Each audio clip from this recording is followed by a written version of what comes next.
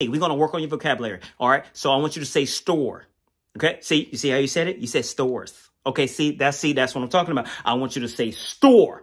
Okay. Now say candy bar.